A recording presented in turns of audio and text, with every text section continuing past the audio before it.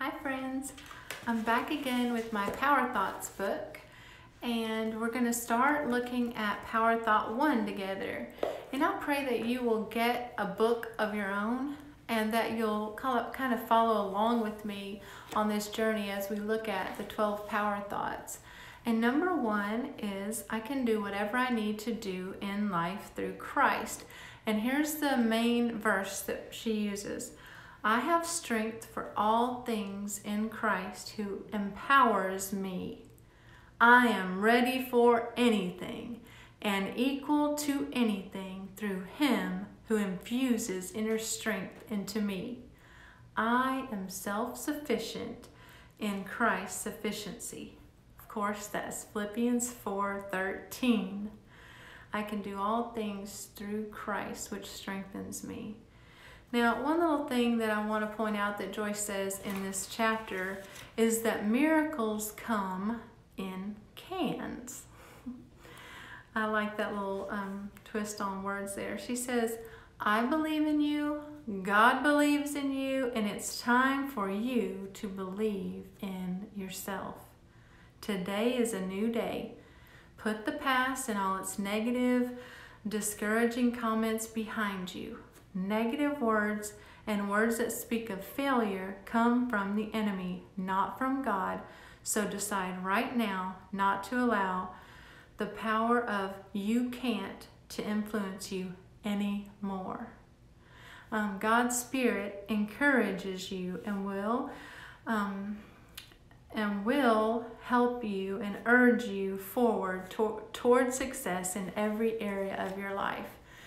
Um, I told you that in 2011 I read this book for the first time, and I would um, just take one one of those power thoughts a week back then too, and I would just really meditate on it and focus in on it.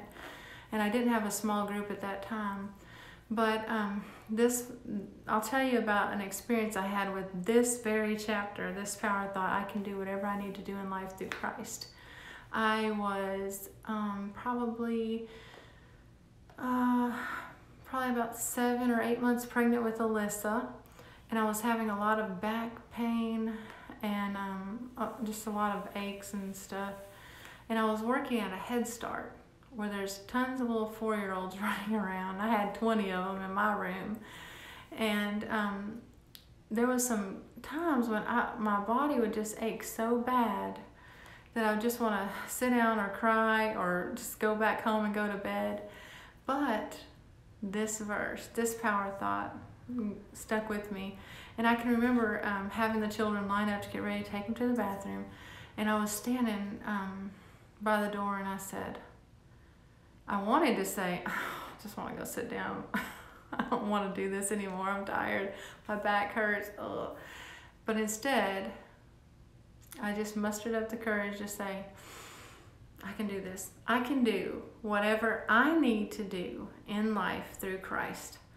and I just decided right then I was going to make myself believe that verse, believe that power thought, and actually walk it out. Even though I was having back aches, you know, the children were acting, you know, like a whole bunch of four year olds, and um, I was so pregnant and tired and grumpy and all that. But I made a decision right then. I am going to do this. I'm going to be able to get through this day of work. And I just took it one little step at a time. And I'm telling you, it made the rest of the day easier. Now, at the end of each of her Power Thought chapters, she gives so much insight I really would love it if you read this book and maybe even comment on this video about some things that uh, spoke to you in the in this chapter. But at the end, or, or near the end, she says, throw away your excuse bag. Ooh, like I was thinking, I could have just said, oh, I'm tired, you know, I just can't do this anymore. Um, throw away your excuses, things that, that um, start with, this is just too hard. Um, I can't see how I could ever make it through this.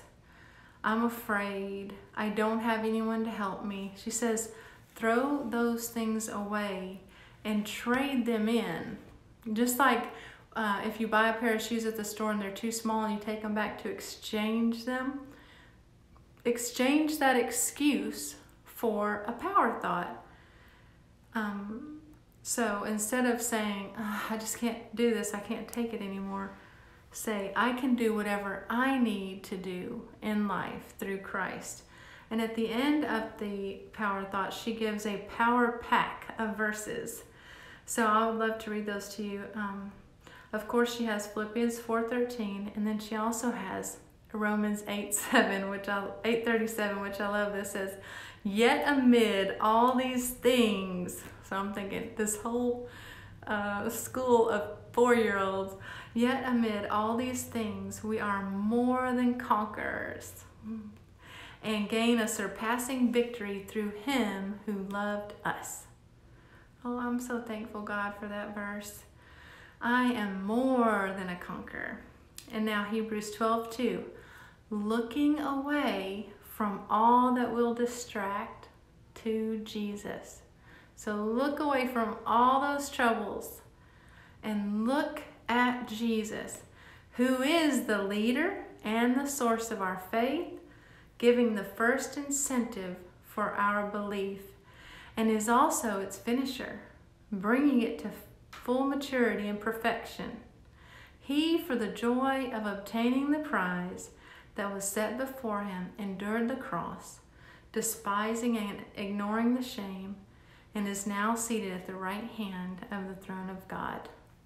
I'm so thankful that Jesus did not say, This is too hard, I cannot do this, and just come off the cross or have all those angels come and rescue him. I'm so thankful that he persevered and did the thing that he set out to do. And I'm going to believe that with you. Whatever it is that you're going through in your life that's really hard, and I know there's a lot of hard things out there, just believe and have hope that you can get through this. If you'll walk along beside Jesus, let Him lead you, let Him be your source, look at Him more than you look at the problem um, and I believe and declare that you will overcome every obstacle in Jesus' name. Remember, Jesus paid a high price for you, and you are worth far above rubies.